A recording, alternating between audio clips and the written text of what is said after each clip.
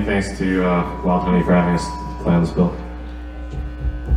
To uh, Great Scott, Dan Ford on the soundboard.